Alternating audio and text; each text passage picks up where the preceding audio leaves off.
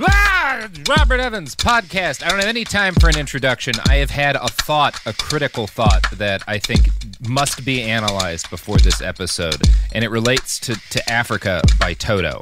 Uh, because in the opening strains of the song, the singer notes that it's going to take a lot to get the, whoever he's singing the song about away from him, and that there's nothing that a hundred men or more could do. But with social isolationing in place, I think we have to assume that whoever is singing the song Africa by Toto, like whatever character that is, is in fact isolated from the person that they said they could never be separated from, which leads the question how many men more than 100 is the COVID 19 epidemic powerful then? That, that this is this is critical to analyze. Nothing else matters. We're canceling the rest of the episode Ah, until we figure this out, Sophie. It's more than a hundred No. men. Clearly. Yeah. Yeah. We're not that- yeah. canceling the episode. This is an episode with DJ Daniel. I'm not canceling that. Joy. Okay. Cool. My Well, intro. I'm going to keep running the numbers on this. But while I do that, Dan, you're a fan of a lot of things, right? You, you're you're big into fandoms, all sorts of stuff Yeah. that you're a fan of. Are you Don't a fall fan? for this. Don't Are you fall a for this, fan, Daniel. Dan, of the war in Afghanistan? Rhyming. Are you in Afghanistan? Get it? Oh my god. Oh my god. Oh my god. That was so good. I'm so proud. Okay. Thank you. I take it back. Nice job. Dan? Um, okay, well, I mean, I'm, I'm a fan of no wars, but um, you know, I have a feeling by the end of this, I will be even less a fan of this one. Well, the war in Afghanistan is a real. I, I think people like it's been going on for so long that now we all just think about it as this like endless, slightly draining and expensive, but mostly forgotten disaster that we just can't seem to escape from. And I think we've forgotten what a fucking crazy time the beginning of the war in Afghanistan was. Like it was, it was one of the dumbest times and places that that has ever collided together um, as a result of what I, what I can only call army grifters. Like this was a huge part of the early war in Af- like it still is, but now like the grifting is done by giant corporations. But in the early days, when like U.S. troops were first into the country, there were a ton of just random assholes who would roll into Afghanistan with whatever weapons they could manage to smuggle across international borders and just try to do some shit. Uh, and it it we don't we don't talk about him anymore, but it's one of the funnest things that ever happened. And I I want to tell you about a couple of these guys before we get to the main subject of our episode. Oh, So please. yeah. The first one of these beautiful bastards I want to talk about was Gary Brooks Faulkner. Uh, now, Brooks was a, uh, or Gary, I should say, was a Greeley, Colorado native who traveled by boat and a series of overland routes to try to make his way into Afghanistan and single handedly capture Osama bin Laden. Now, he had to travel on a boat and via smuggling himself across borders because he try- was trying to get into Afghanistan with a pistol, a knife, night vision goggles, Christian evangelical literature, and a samurai sword that he all brought from home. what? That that's his his Bin Laden kit was a pistol, a knife, night vision goggles. Like okay, so pistol, yeah, you're gonna want you a gun of some sort, right? A knife, practical. You're in the mountains, you're always gonna want a knife. Night vision goggles, sure. Christian evangelical literature, okay. Uh, I, I that doesn't seem practical, but, but go off. And then samurai sword, which really I think keys you into what Gary imagined he'd be doing. He just wanted that slung over his shoulder, striding across the back, so Mm-hmm. that when you know the sun was beating down on him, and you just saw the silhouette of a weirdo cosplayer coming into this town in Afghanistan, he would be Yeah. have that sword and the silhouette off to the side. Yeah, you know he imagined like getting into a duel with a couple of Taliban guys, and Yes. yeah, he, he had such dreams. Gary did, um, but unfortunately. Gary never quite made it to Tora Bora to samurai fight the Taliban. uh, instead, he was arrested almost immediately in Pakistan because Oh, yeah. So the good news is that obviously once the media heard that some guy with a samurai sword had been arrested in Afghanistan after leaving fucking Greeley, Colorado to go cat- kidnap the world's greatest terrorist, uh, it, it was it, it made the news. Uh, so he was sent back home by. Pakistan, and he got kind of famous. And he did appearances on The View and The Late Show with David Letterman. For real? where he, yeah. He was described as the Rocky Mountain Rambo, even though he saw no action of any kind and was, in fact, on dialysis the entire time. So Oh my god. I, I feel comfortable saying if the police in Pakistan hadn't arrested him, he would have almost certainly died, even without the Taliban's help. and, and with and with not a word uh, to the world about his presence or actions. No. Just disappearing off of this earth.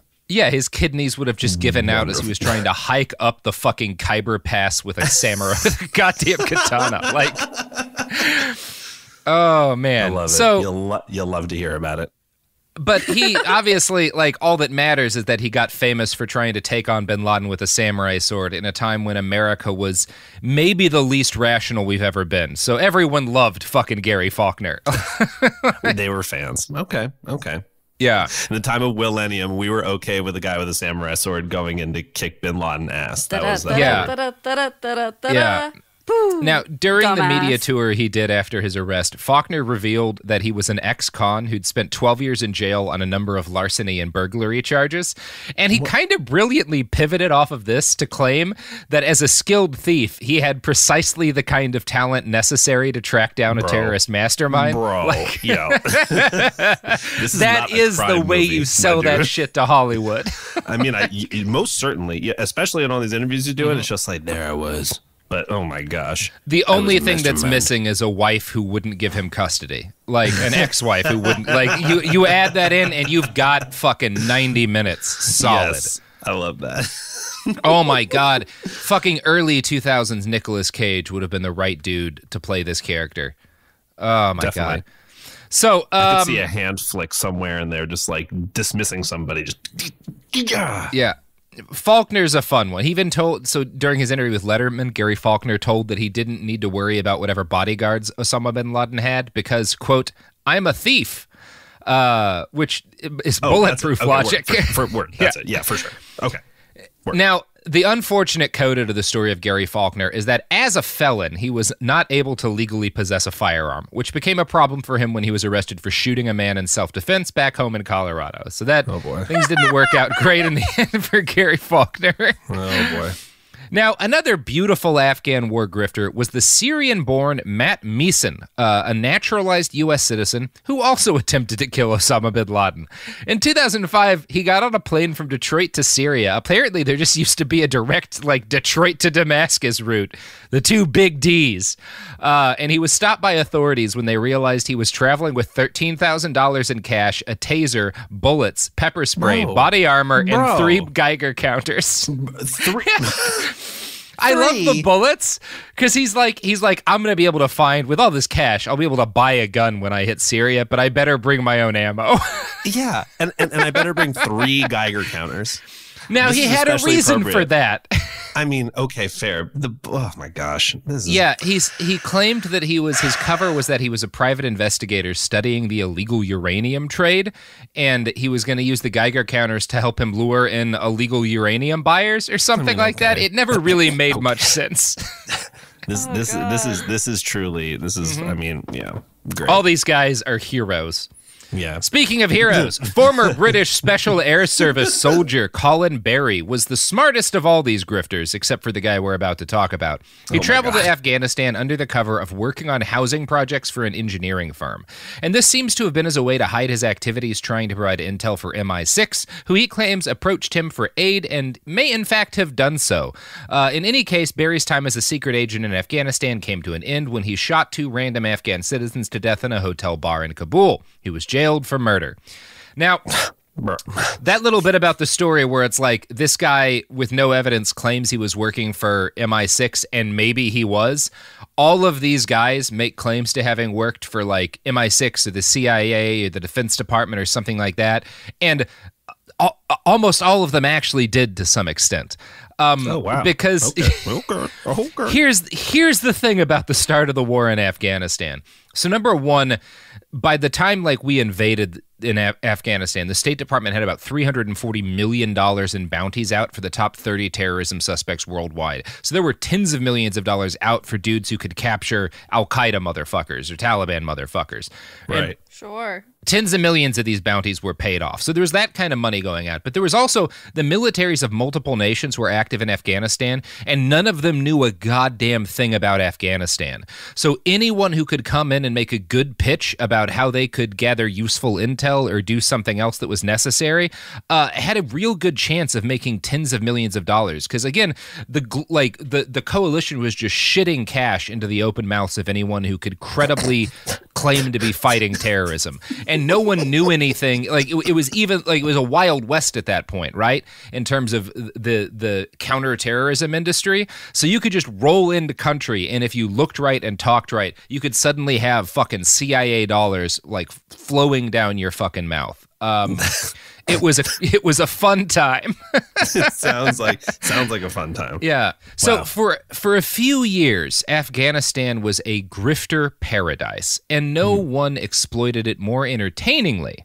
than Jack Idema. Jonathan Keith Idema was born in 1956 in Poughkeepsie, New York. His parents were upper middle class and doting, and Jonathan was their only son. His father was a former Marine and a veteran of the Second World War. Jonathan grew up beloved and worshipped and surrounded by the sort of comfort and care that few children are fortunate enough to enjoy. When he was 12 years old, he watched the John Wayne classic, The Green Berets. Have you seen that movie, Daniel? I actually have not seen the Green Berets. Side But tell me about note, it. side note, can I put in a request to the fans? If anybody wants to remix uh, Gangster's Paradise by Coolio and do Grifter's Paradise, please, please There add we us go. on Twitter. Thank yeah, you. yeah. Make it happen. Also, shout out the city of Poughkeepsie. Uh, I've, I'm, I'm familiar. I, I've heard of Poughkeepsie, but uh, P- Poughkeepsie. Oh, is- is a little- I don't. Daniel, Poughkeepsie. I- I'm a little more familiar with. It's shout okay, out. Daniel. You missed him yesterday. Called Beyonce, Beyonce. That I. was the highlight of my I'm day always, yesterday. honestly, I'm always a fan. When the fans came after you for Agape as well, that was really funny. I loved that. I mean, it's just so great. I immediately text Jamie Loftus in the middle of recording and said, "Guess what? Guess Oh, what happened?" fantastic. And No, we've been laughing it. about it for two days. It's wonderful. I. I am so angry right now. mostly, mostly, I am angry at the way the state of New York names towns. that um, that is Oh, oh, okay. completely Cool, fair. Cool. Yeah, I. It's wrong, and I. I don't think we should lean into that anymore. So Agreed. Agreed. you're Amen. on. You're on blast, New York. More, more, more main mainland names. So the movie The Green Berets was kind of the first movie about special forces. Like now there's like a fucking ton of those movies. It's like in every action movie hero's got to have some sort of special forces background, but like this was the first time like special forces were kind of new uh, in Vietnam, like the idea that you would have these dudes. And The Green Berets was a movie about them. And um, it was uh, a very a big hit. Uh, and it became John Idema's very favorite movie as a little boy. And seeing this film convinced him to give up his earlier dreams of being a veterinarian and instead join the military and become a Green Beret himself. He enlisted as soon as he was able to do so in 1975, but tragically, he was too late to fight and maybe die in Vietnam. But he did well enough on his entrance test that he qualified for the Special Forces. He was helped in this by the fact that the post Vietnam Special Forces had endured a serious manpower shortage, since new recruits had been scared off from joining for some inexplicable reason. Jonathan was accepted even though he had bad eyesight. He did a three year active duty term as a radio operator and a weapons specialist, and then spent some time in the reserves, reaching the rank of staff sergeant before being discharged in 1984. One of the difficulties here is that even among credible sources, Descriptions of Jack Idema's time in the military vary widely. Uh, this paragraph from a Rolling Stone article on the man is probably as close to accurate as you're going to get in a story about this con man's uh, military career. Though Idema's military record reflects qualification as a pistol expert and badges awarded for scuba and parachute training, there are no indications that he ever heard a shot fired in anger while he was in the military. Moreover, a 1994 North Carolina probation report quotes a military evaluator describing Idema as the most unmotivated, unprofessional, immature enlisted man I have ever known. And a letter of reprimand cited Idema's gross immaturity characterized by irrationality and a tendency towards violence. The reprimand came after Idema attempted to attack a senior commanding officer.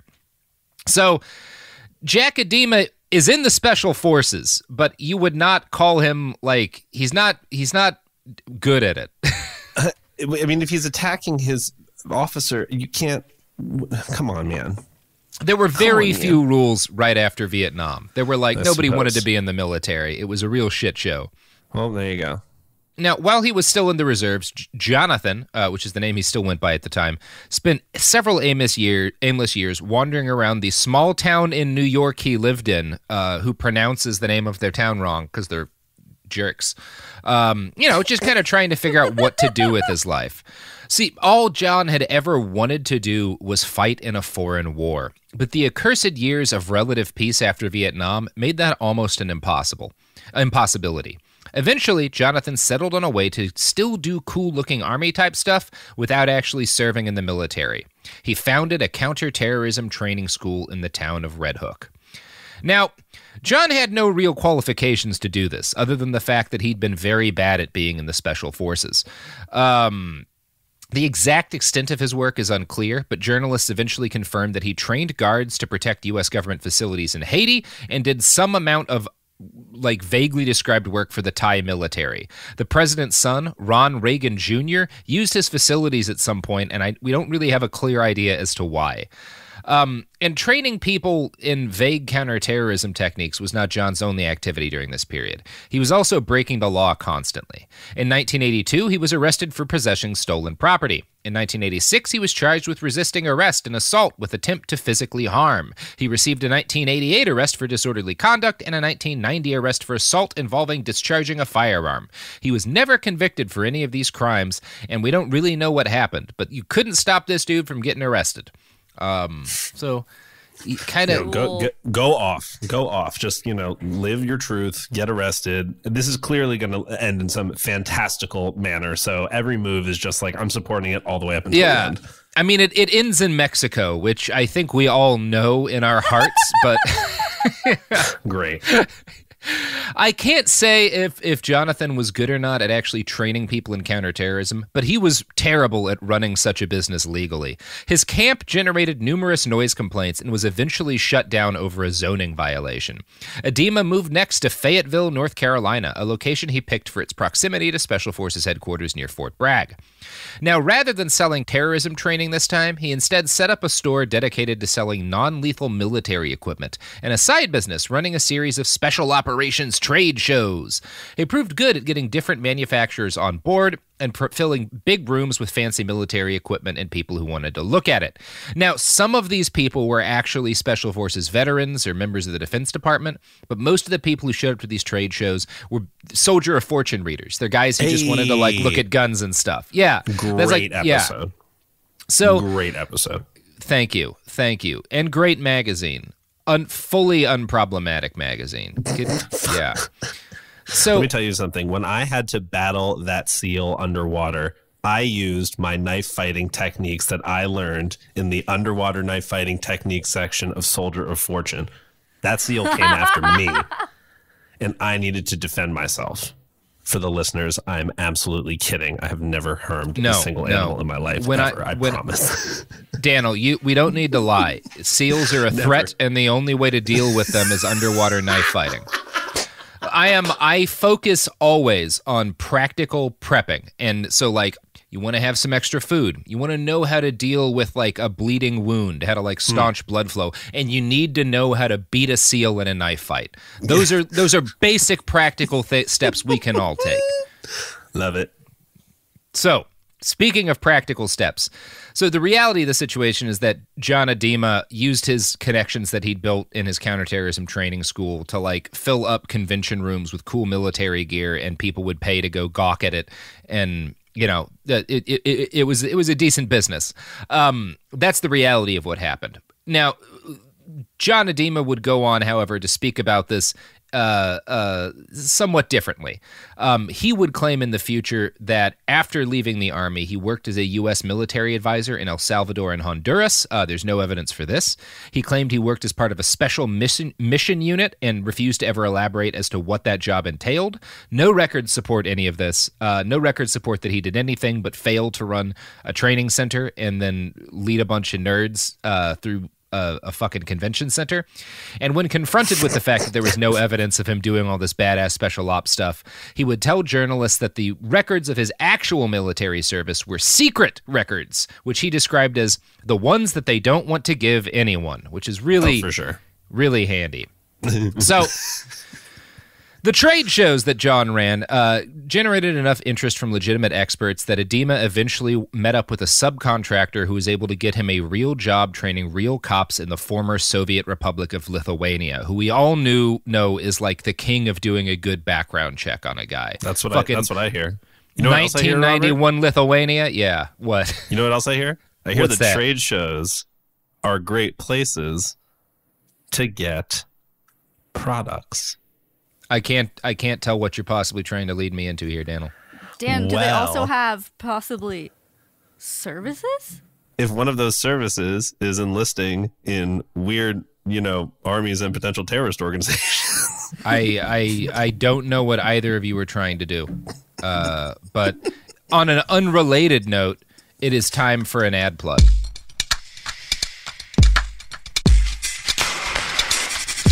We're back and we're on the internet and now we're going to talk about motherfucking Jack Idema some more. So he manages to like kind of leverage his his his various experiences into a, a job training cops in the former Soviet Republic of Lithuania. So he rolls there in 1991, right after the USSR ends.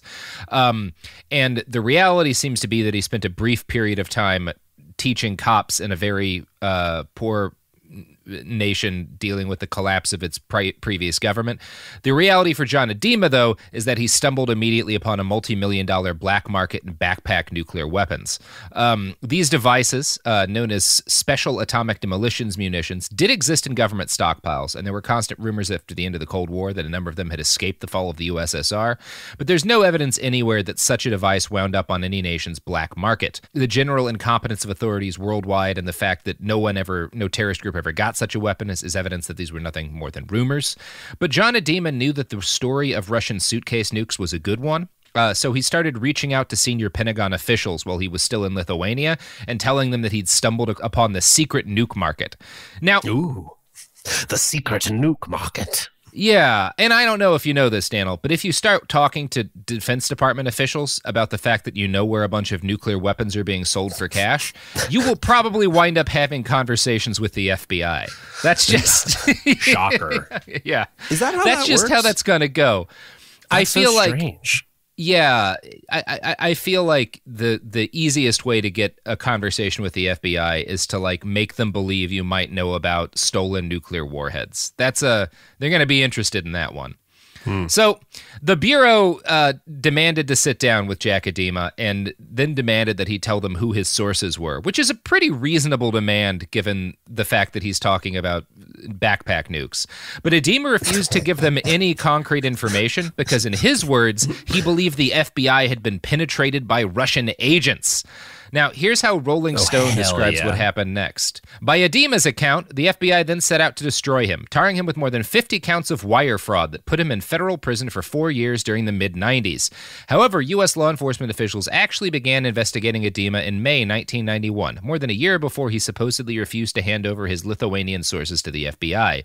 The ATF noted in a report filed during the course of the investigation that Idema was known to have a fictitious major's ID from the mil- from the army and was disbarred from army contracts in June 18th, 1990, after he misrepresented his business as being owned by a minority. So, this is all very winding because Jack lies about everything, and a lot of this is pre the internet really coming around. But what happened is Jack committed mass wire fraud um, in a number of different ways, both from like stealing hundreds of thousands of dollars from different companies and like investments, and also running fake businesses that he just used to funnel money and loans through, and doing stuff like lying to the government to get army contracts to provide them with equipment by pretending his business Hell was owned yeah. by a minority. Um, yeah. So he wound up getting in a lot of trouble, investigated by multiple federal agencies, and convicted with 50 counts of wire fraud and going to prison for four years. And he later claimed that this is because he'd stumbled upon a nuclear weapon market in Lithuania that the FBI had uh, w- not wanted him to shut down for some reason. Anyway, it's a dumb story, but that's what happens. Yeah. That's where I found it, but they were like, no, no, no, it's not important. We swear. Idema, this guy's story, there's so much that's hard to understand about like what happened here because he's he's like again, he's just lying constantly. I mean, yeah, I was gonna say it just sounds like every everybody's hearing the lies and saying like okay, and then not doing anything about it, and he just keeps spinning more and more webs, a lot of spider webs, a lot of yeah, webbies. yeah. And he goes to jail, and in his words, it's because the FBI wanted to destroy him, and in the FBI's words, it's because he just couldn't stop committing wire fraud. Um, yeah. So Idema spent, yeah, 1994 to 97 in a series of federal prisons. He kept up his correspondence with the outside world, though, and managed to get in contact with Jim Morris, a writer for Soldier of Fortune magazine and a for- former Special Forces major. Morris believed Idema's stories of being hunted by the FBI and took up the cause of defending him in a series of editorials. These actually convinced some mainstream reporters to look into the story, and one of these reporters was Ted Kavanau, a former founding partner of CNN. He brought the story to the executive producer of Eye to Eye with Connie Chung on CBS, and they sent a real journalist, Gary Scurka, to interview Idema from prison. The resulting documentary wound up focusing on arms dealing in Lithuania and had actually like almost nothing to do with John Idema, uh, but it won Scurka an, an award for investigative reporters in 1995. So Okay. Scurka felt bad because, like, Idema, he felt that Idema had helped him get on the trail of a real story. Because obviously, there was a lot of fucking illegal weapons training going on in former Soviet bloc nations. But he had, like, he got cut from the documentary because there were no fucking suitcase nukes being sold. Right. But Scurka, you know, He likes John up. Idema. Yeah, he had lied about that. But Scurka likes this guy, and he feels bad that he got cut from the documentary. Um, and he feels kind of angry that CBS executives ordered all footage of Idema cut, Idema cut from the final product because they realized he was a grifter. But Scurka kind of falls under this guy's spell, and he stays in touch with his jailhouse source throughout Idema's sentence, um, and promises to help him out when Jonathan gets freed. Now, Idema had other non journalist pen pals during this time. He started exchanging letters with a woman named Victoria Running Wolf, uh, who was a 40 ish blonde woman from Fayetteville. And the two had first met a few months after Edema got out of prison, um, but they'd like been exchanging letters, and she fell in love with him while he was jailed. So we know immediately that this is going to go well. You've got a grifter who falls in love with a woman in prison. Always. Victoria later recalled, quote, I knew right then I was going to have my hands full. I knew it from the time he said hello. Yeah.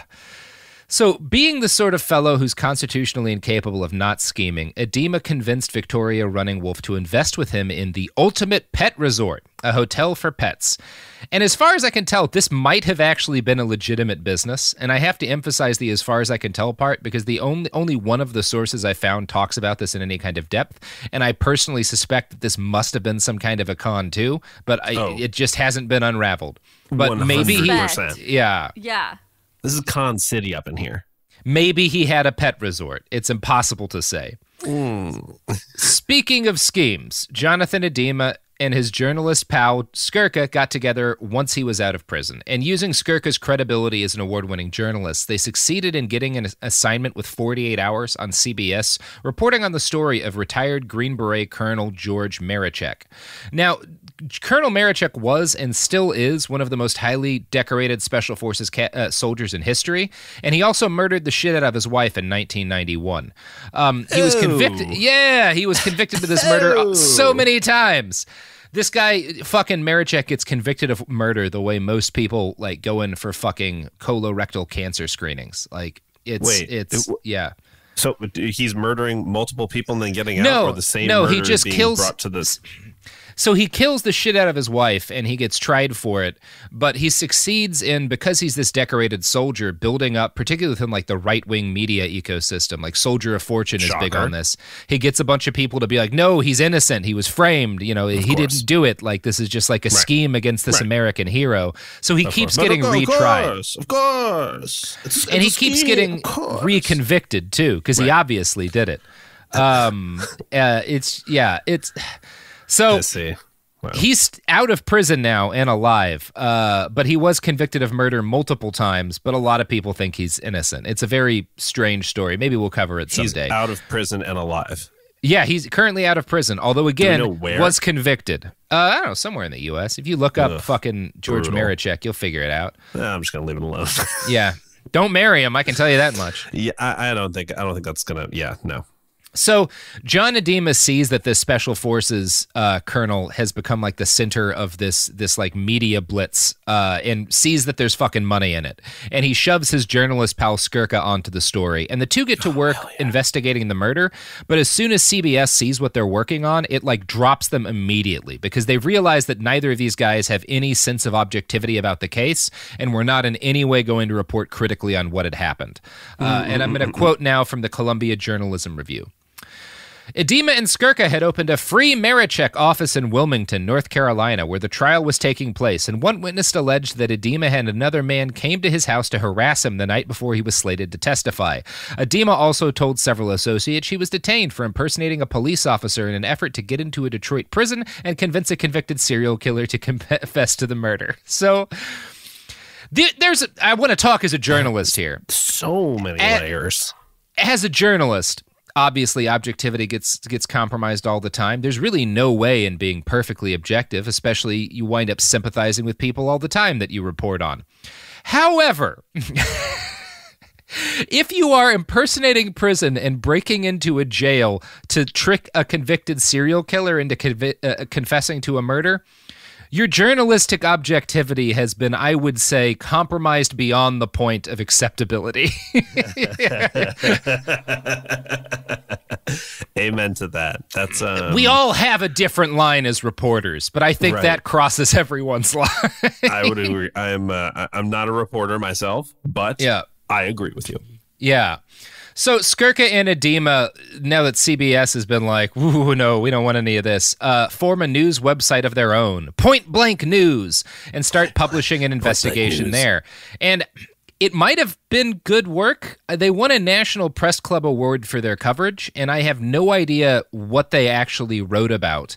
I, I, it's impossible for me to actually analyze this coverage, but they won a fucking award for it. So maybe, maybe what they did was good. Uh, I don't know. My gut is saying that Scurka was a good reporter who just got conned by this guy, and he might have actually put up some good work about the case. Um, but it's it's really fucking hard to say, uh, and it's made harder to say because right when Scurka and Idema were working at this, Jonathan Scurka had another side hustle, which was filing hundreds of frivolous lawsuits against 60 Minutes, U.S. News and World Report, and every other journalist who wrote articles about the fact that he'd like tried to con the FBI into thinking he had suitcase nukes in Lithuania. Um, so he just starts suing people left and right for reporting on the fact that he'd been jailed for wire, wire fraud and was lying that it, it, it it's very very like any of these guys he files so many lawsuits that trying to like track down what they were all about and what they were claiming was impossible he also filed a plagiarism suit against dreamworks claiming that the george clooney nicole kidman movie the peacemaker had in fact been based on material they stole from a movie treatment that he had started to write Okay. Okay. but not bro. written Okay. I just Yeah. Want the, I just want the behind the bastards fans to know that there's been like a solid like 30 seconds of just me shaking my head at these foolish, frivolous actions and lawsuits because this is just Yeah, and he's he's right now like kind of we would never have written a story about this guy if if this was all he did because right now it's just mostly tricking this one journalist into thinking he had something to say and filing a bunch of bullshit lawsuits and go to jail for wire fraud. And this is kind of the state of affairs with Jonathan Idema as it existed on September 11th, 2001. Are you aware of that date, Daniel? yes, I am Robert. I am Yeah. aware of that date. Yeah, it was it was you know several days before the release of Big Trouble, um, the Tim Allen film that changed America. I think we can all say that after Big Trouble came out, nothing was ever the same. I'm Uh, tempted to agree. Yeah. Now, there you may not be aware of this, but there was also a terrorist attack on New York that same day, uh, and it was pretty have heard. significant too. Yeah, yeah. And uh, John Idema was. Uh, he really, he really was hit hard uh, by the towers falling uh, and by all those planes being. Yeah, as he would later say, "Eh, they blew up the fucking World Trade Center and my whole life changed. I'm a fucking New Yorker. I'm going to kill every goddamn one of them until I drop dead. Now, the them that he was Word. talking about in that interview was Al Qaeda, uh, but also less specifically any Afghan people he could possibly get his hands on. And his wife, Victoria Running Wolf, was totally supportive of this, later telling a journalist, A lot of us put yellow ribbons on our cars or flags on our houses. My husband decided to go over to Afghanistan and hunt the bad guys, which is one way to describe what John Idema did. Bless her heart. yeah. Bless her heart. It's weird. the only things you find about her are her being utterly supportive of him and then her disappearing completely from his life. Um, God, and there's a story Honestly, there that's- that's not great. Yeah. isn't that isn't that the isn't that the dentist system? And just Mm-hmm. like, yeah, it's just you get really close, you connect, and then you just disappear entirely. That's that's the Yeah. secret. That's the move right He there. He disappeared to the right thing, be honest with Afghanistan repeatedly. Yeah. There you So go. Before he went to Afghanistan, though, Jonathan Idema decided to get on TV and start establishing his bona fides as a terrorism expert. Now, nowadays, every fucking TV channel has countless terrorism experts. There's more terrorism experts in the world than there are fucking terrorists right now. Um, but in the immediate wake of 9 11, uh, which was again the release of Big Trouble, uh, the Tim Allen movie, terrorism was something that Americans suddenly cared an awful lot about, possibly because the movie Big Trouble focused on a Russian suitcase nuke getting out into the hands of some terrorists who get it on a hijacked plane. There's a, there's a CIA plot in the f- movie Robert, Big Trouble based on the you Dave are- Barry book Big Trouble, and people need to know about it, Daniel. Oh, Robert. So the thread is so long. It's It so is, it long is. and And that's how you know it's true. expertly. Mm, mm. so Good. John Just- John Idema, 9 11 happens, and Idema's like, all right, I got to get on TV. Terrorism is going to be like the big thing for the next forever, and I've got to establish myself early as a TV expert because there's going to be some fucking money in that. And he is not wrong on this. And on September 12th, 2001, Idema showed up as a guest on a local Los Angeles Fox News affiliate, written as a described as a counterterrorism advisor. He told audiences oh, that he'd come oh, across evidence yes. that, yeah. He told uh, audiences that he'd come across evidence that three Canadian airliners had also been hijacked by Al Qaeda, along with a total of four American planes. Now, this was bullshit, but nobody was really fact checking it all on 912, so it, it played well in the immediate wake of fear and terror after the attacks and the release of Big Trouble. Now, while he was doing media appearances, John Idema also reached out to his, his old friend Scurka. He informed him that he was headed over to Afghanistan straight away, not to kill a bunch of people, but to perform vaguely defined humanitarian aid work. He told Scurka that he had set up a deal with an NGO called Knightsbridge International, which was run by a veteran named Ed Artis and focused on like delivering aid to the most dangerous places on earth. So this was like on its surface a good story. Is like this former Green Beret wants to have his journalist friend come with him to Afghanistan to help this a- NGO made up of veterans deliver aid to Afghanistan. Like as a fucking journalist, that's a great tale. So Scurka pitches this. Yeah. Good story. yeah. Yeah. So Scurka pitches this to National Geographic's TV division. Um, and he claims, Scurka claims that he told them that Idema was a convicted felon uh, and that the two were friends. And Nat Geo decided that the story was still worth doing. Now, so they, they approve this, and he gets funding to do it. So they're they're yeah, going to go fucking. Afghanistan. yeah, Do it. now, it was not easy to get into Afghanistan in late 2001. Scurka and Idema had to charter a plane with a group of other aid workers and reporters from Tajikistan to Kabul in late 2001. And I found a really fun article on Time by Kirk Spitzer, who's a veteran war correspondent and was on that flight. And here's what he has to say about John Idema's behavior during the trip over to Afghanistan. Oh, let's get it. The plane blew a tire on takeoff from the Dushanbe airport and was not replaced until late in the day. It was agreed that rather than risk flying over the 20,000 foot Hindu Kush at night in midwinter with a dodgy pilot and a plane with no instruments, we should wait until the next day. But among the passengers was a group of displaced Afghans frantic to get home, who angrily demanded that we take off right away. Idema, who was also a passenger and was dressed in his customary paramilitary gear and dark sunglasses, poured fuel on the fire by shouting that he knew the codes at the Bagram airfield. He said that once we were over the runway, he could radio down to the control tower to get American troops to turn on the lights. This was pure fantasy Fantasy, of course, there were no Bro. codes. There was no way to communicate with American troops from a broken down Russian built cargo plane, and American ground controllers certainly would not turn on the lights for an unidentified plane that happened to show up in the middle of a war zone. If that plane took off that afternoon, everybody on board was going to die, including Idema. It wasn't until several of us dragged Idema aside and impressed on him the seriousness of the situation that he finally conceded that maybe he didn't really know any codes or radio frequencies after all. We called the, f- the flight off, and everyone lived for another day, as did Idema's flights of fantasy. So every now and then you get like stories about this guy from people who weren't uh, liars, uh, and they're always like that.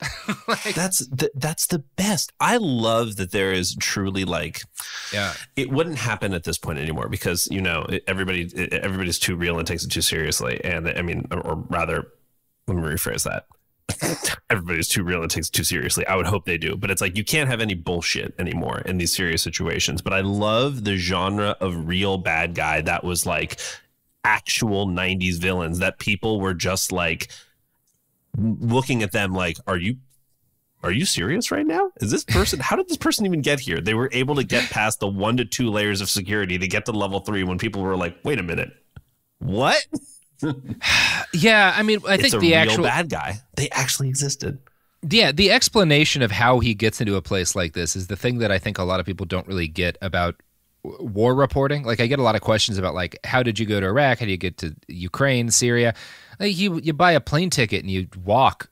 Uh, there's often remarkably little in the way of people stopping you from doing anything in places like that. Right. And yeah, that's Right. kind of what John Idema takes advantage of. He just gets on this plane, almost gets everyone killed by being like, "No, I know the codes to the airfield." and he's just lying the whole time. But now he's in Afghanistan with a National Geographic uh, documentary production team. I Um, love it. Yeah. And he manages to link up with Ed Artis and the other aid workers at Knightsbridge uh, in November of 2001. And once they're all together, it immediately becomes obvious to the folks from National Geographic that Ed Artis was not as on board with this documentary as Idema had led them to believe, and that John Idema himself had no actual desire to report on humanitarian aid work.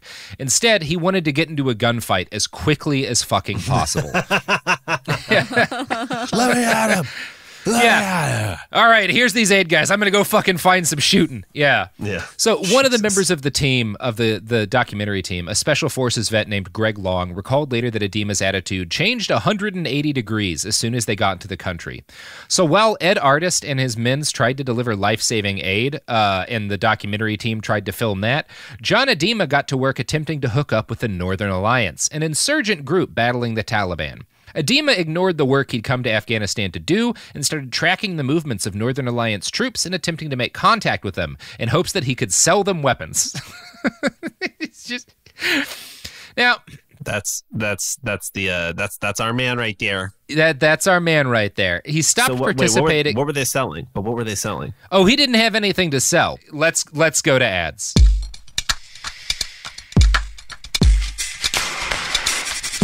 We're back from ads, and in the break, Daniel had to take an important phone call, and I found that the iron bars I ordered had finally arrived. Yay! So Iron everyone's everyone's having a good day. I pet Anderson Top shelf. during break, and now Mm-hmm. she's happy.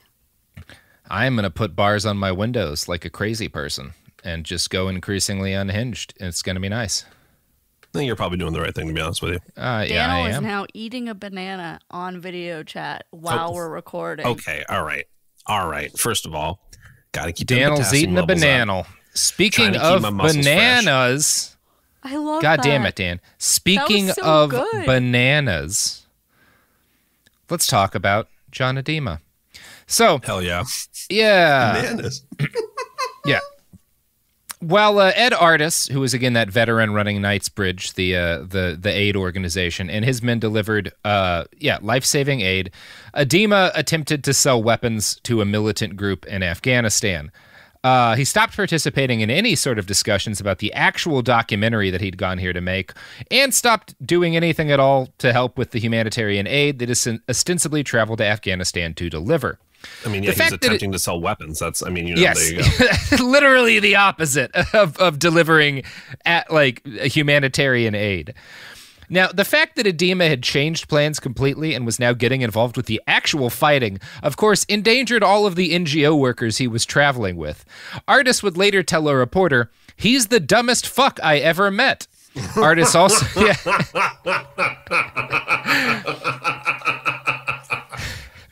What a great quote.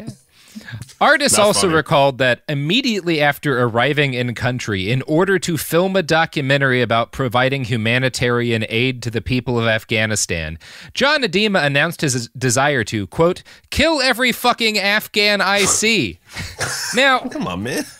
I'm not an expert at uh at uh at at it, providing humanitarian aid, Daniel. You know that's not really my bag. But I think that's poor form.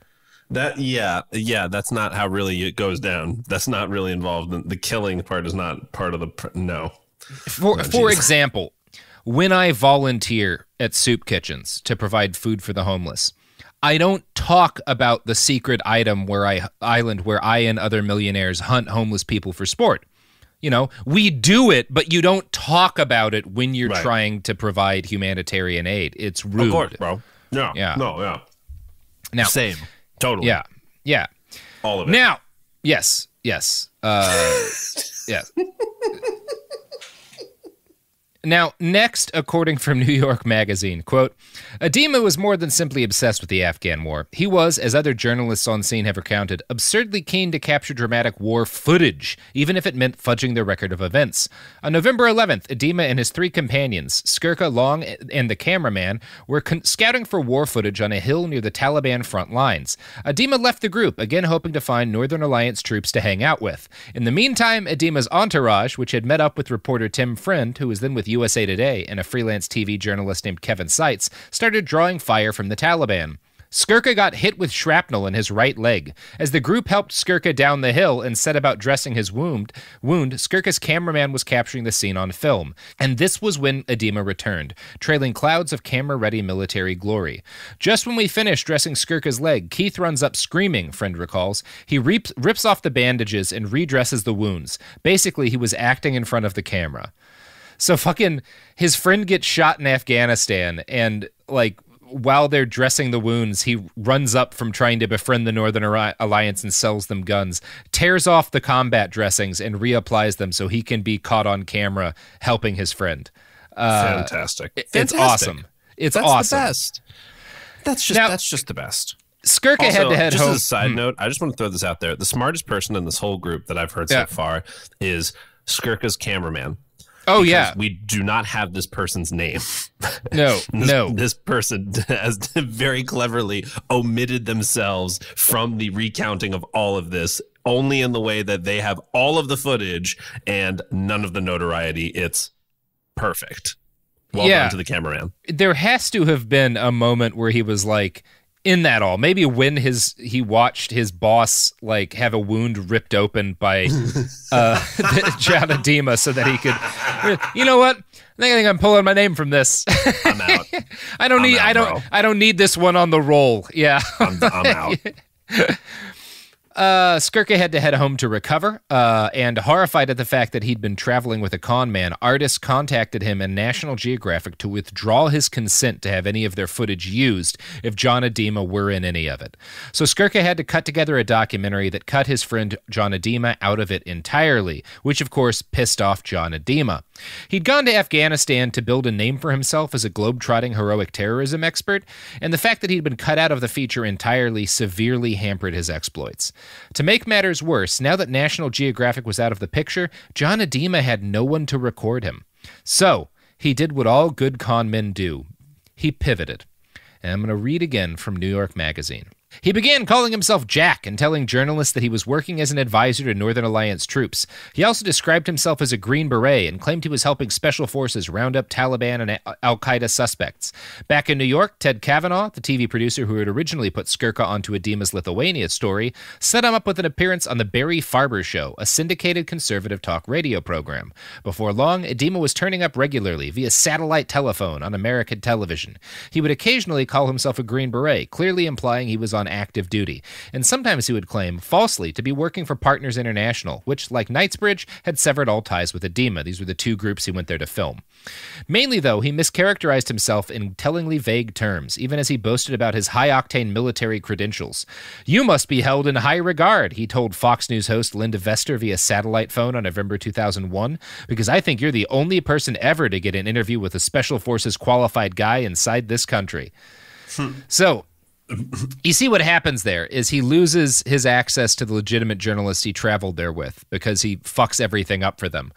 And he just starts reaching out to reporters and basically saying, Hey, you know how everyone who's actually doing anything is too busy to talk to journalists on the phone from the middle of Afghanistan? I got all the time in the fucking world, baby. And I will pretend that I'm still in special forces if you will put me on TV. And it, it, that's what he fucking does. God uh, damn. Yeah.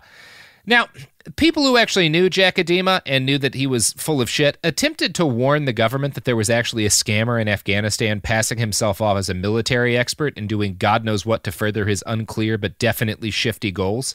Uh, Knightsbridge reached out to American authorities about Idema, writing Army Special Operations Command that the rogue operator was both a threat to aid workers and to the overall mission of the United States and the coalition in Afghanistan. Partners International, who's another aid group that Idema had fucked around with, did the same thing. But Afghanistan was a chaotic place in late 2001. The warnings went unheeded, as there were too many journalists in country during the height of the war for the warnings to spread very far. Jack also repeatedly sued Ed Artis and Knightsbridge International, locking the aid worker and his charity in a series of interminable lawsuits and distracting them from actually saving lives. But Idema never got distracted. He was in Afghanistan to grift reporters and whoever else he could find, and that is exactly what he did. There are numerous stories of Idema during this period. The reporters who were savvy enough to catch on to his bullshit early started calling him by the very appropriate nickname Jack Shit. Nah, Yeah, that's good. That's good. Good. Now, Now- got him. Kim Sengupta, Paul Lashmar, and Nick Meo are journalists who were reporting in Afghanistan for The Independent during this period of time. And I want to close this first episode with one of their recollections about a particularly fine Jack Idema caper.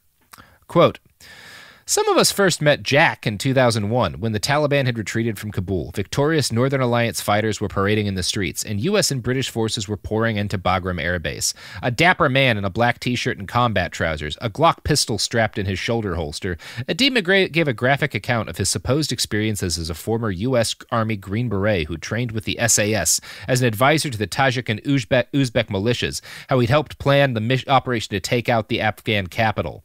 The meeting took place at the Mustafa Hotel, then being built in the city's center. It was another example of the seemingly endless carpetbagging opportunities then on offer. The owners were, and continue to be, a family of Afghan expatriates from New Jersey, the hotel named after one of three brothers. Sipping whiskey, then retailing at $140 a bottle at the supermarket off Chicken Street, Idema offered to organize a convoy to Tora Bora, where the Taliban and Al Qaeda were making what was thought to be their last stand, and where, the Americans were confident, Osama bin Laden was trapped. After making a few checks with the British military, some of us decided to decline his offer. Those who went were robbed at gunpoint a quarter of the way through the journey by their guards and made their way bedraggled back to Kabul. Jack professed to be outraged. He would take this matter up immediately with his good friends in the Afghan government, and the bandits would be executed. None of this ever happened. He was just selling course. reporters to bandits, uh, and I'm sure getting a cut of what they stole from them. Yeah. That So he's a fun guy. So fun. I love Yeah. it. He's a good guy. How do And these the- people? the fun thing about John Idema is that the grifts were really just starting at this point. Um, like he was he he he, he was just kind of dipping his feet into the great Afghan con game.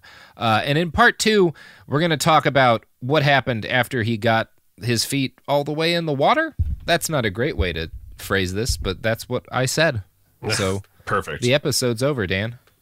Well, well, I, well, I mean, this is a wonderful start. As I feel about the political system these days, when is an adult going to step in and pull the strings out and just pull this person away, take the the cane from the side of the stage and just whoop, yank them out of here? So I'm I'm excited for that moment to eventually happen because this man is just uh, going off, as it were. Yeah. Yes. You can find Daniel on the internet. Where's your Twitch, Daniel? What do you do? You're doing video Uh, games. You're a video do, I do- games. yeah, yeah, I do the video games. But I mean, also, you know, uh, what I mainly do is I edit podcasts for you and for the That's network. true. So make That sure that you true. continue to listen to Behind the Bastards and The Women's War, and you listen to um, Worst Year Ever, and you listen to uh, It Could Happen Here if you haven't already. Listen to all the shows in the iHeartRadio network because that's a lot of my work, and I appreciate you all so much. Uh, you can follow me on Twitter at DJ underscore Daniel. You can follow me on Twitch at also twitch.tv slash DJ underscore Daniel. Come find me. I play video. And the Daniel is D A N L. DJ underscore D A N L. And uh, yeah, we play lots of games. We do stuff like Jackbox. I play a lot of Rocket League. I'm really into Half Life Alyx right now, the new VR game. It's mind blowing. Anyway, come check me out there. And thank Go you, Robert, check for him having me, of course. Yeah. thank you, Sophie. Yes, check Daniel out and check yourself out, but no one else because going outside is dangerous. Amen. Yeah. Yes. Lock yourself in your rooms, listen to more podcasts, buy the products advertised by those podcasts. Yes. And together we can build a new humanity, a humanity based entirely around staying inside and listening to podcasts. You can follow this podcast at Bastards Pod on Twitter and Instagram. You can follow Robert at iWrite OK. You can listen to him on all those shows Daniel just listed, especially The Women's War, which is officially out. And you can buy merch on our TeePublic store. Uh, somebody on Twitter specifically told me that I should shout out the General Anderson shirt. It's awesome. It's so good. Yeah, baby.